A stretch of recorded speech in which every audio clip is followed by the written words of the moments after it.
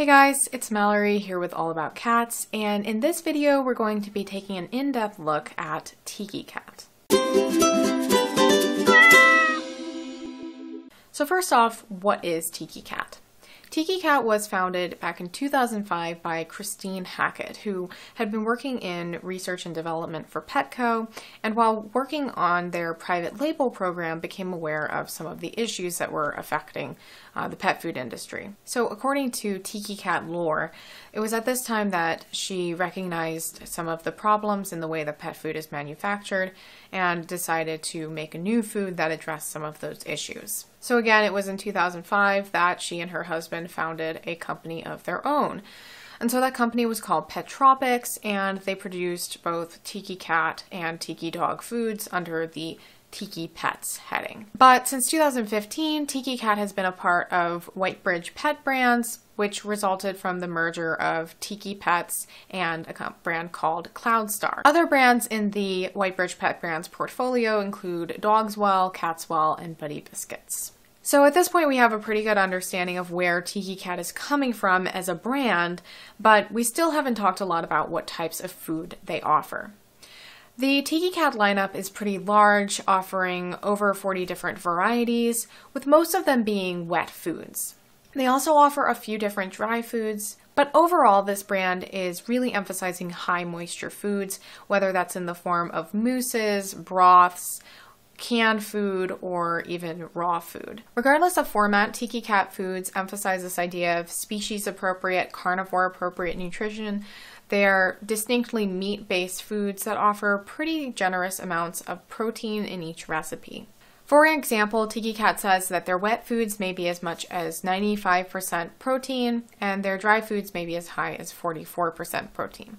So overall, their foods are quite high protein compared to some of the competition. So again, they're offering a really generous variety of recipes and those are broken down into a few different lines. So their dry food is all a part of the Born Carnivore line. These foods again average about 44% protein and all of them are free of corn, rice, potatoes, and wheat. Their dry foods are baked rather than extruded, and while it's not clear if this has any real nutritional effect on the food, it does set them apart from most of their competition.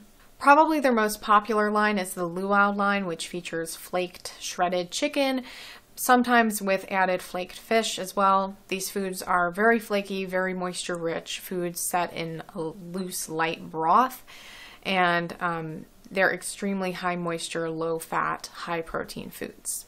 Then we have the grill line, which is similar to the luau line but features fish rather than chicken as its primary ingredient. You're also going to see toppers like prawns and shrimp on top of these foods. They also have the After Dark line, which includes organs in addition to muscle meat.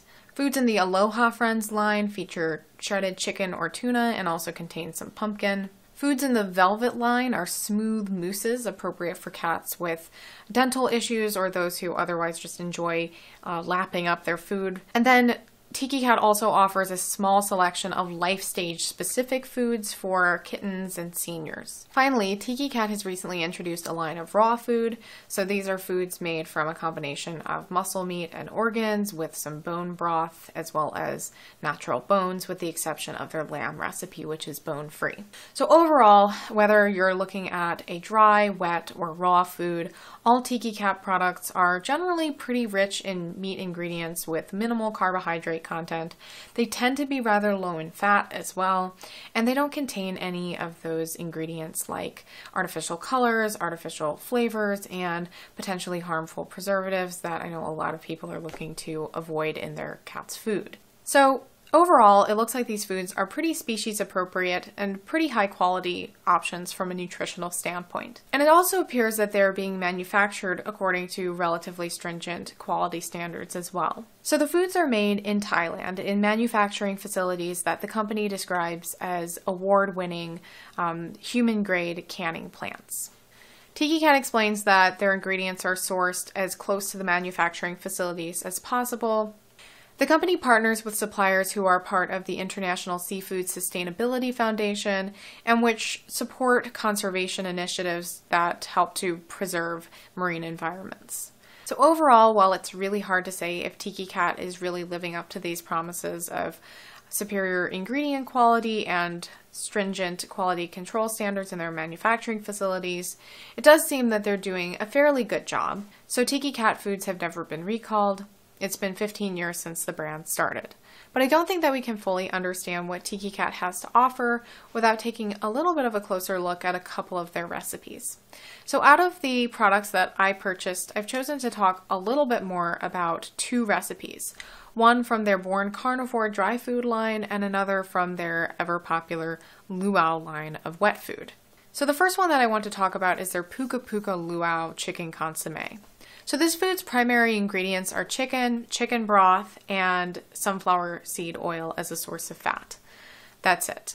Uh, the food also contains an array of vitamins, minerals, and amino acids added to make the food nutritionally complete.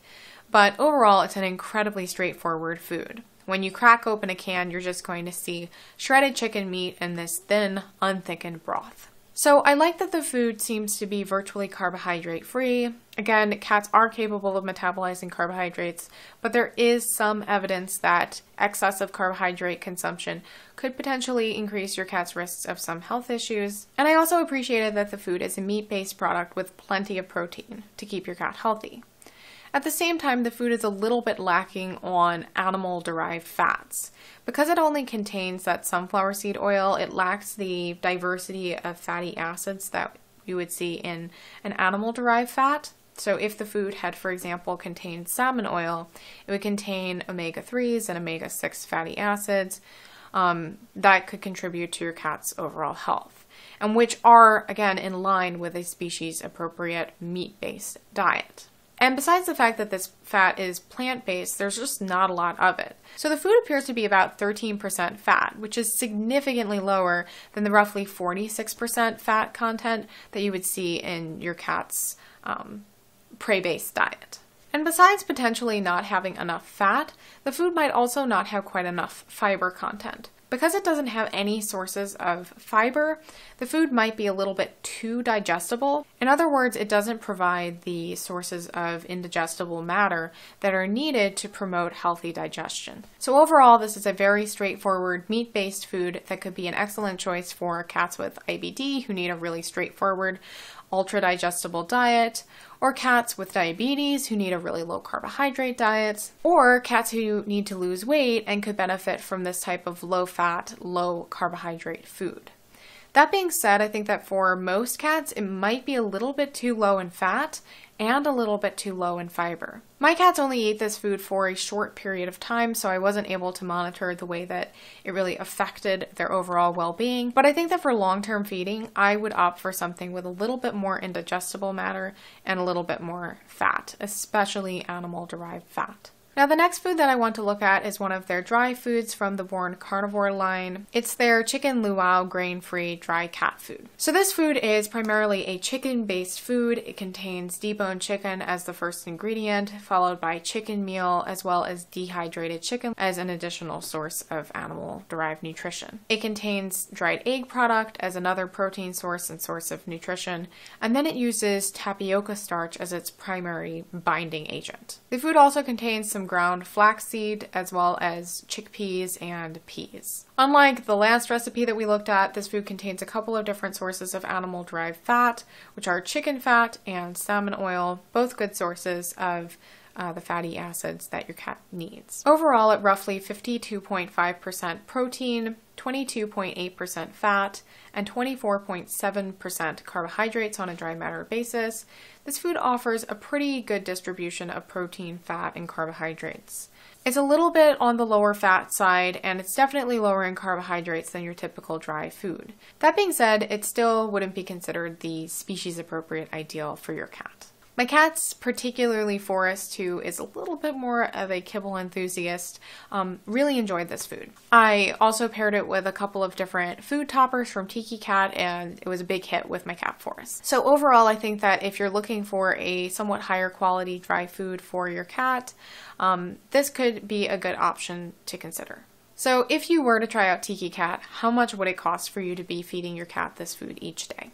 So, assuming that you have a typical 10 pound cat who needs about 200 calories per day, it looks like the wet food is going to cost somewhere in between $3.42 and $4.86, depending on which line you're purchasing from. And then, like most cat food brands, you're going to find that Tiki Cat's dry foods are significantly cheaper than their wet foods, so you could probably feed your cat the Born Carnivore kibble for about 50 cents per day. So after looking at everything that we've covered so far in this video, is Tiki Cat going to be a good choice? Overall, Tiki Cat seems to be doing a great job of offering species appropriate, carnivore appropriate nutrition for cats. You're going to find a nice wide selection of options, all of which contain plenty of animal derived protein and not a ton of those carbohydrates that could potentially contribute to diabetes and just are not necessary in your cat's diet. Considering that the foods are made from these human grade ingredients, it does seem that they are held to somewhat higher standards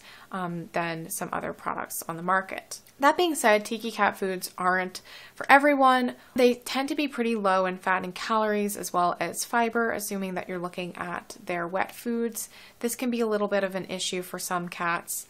But it does also mean that it could be a good choice for cats with digestive sensitivities as well as those who need to lose weight.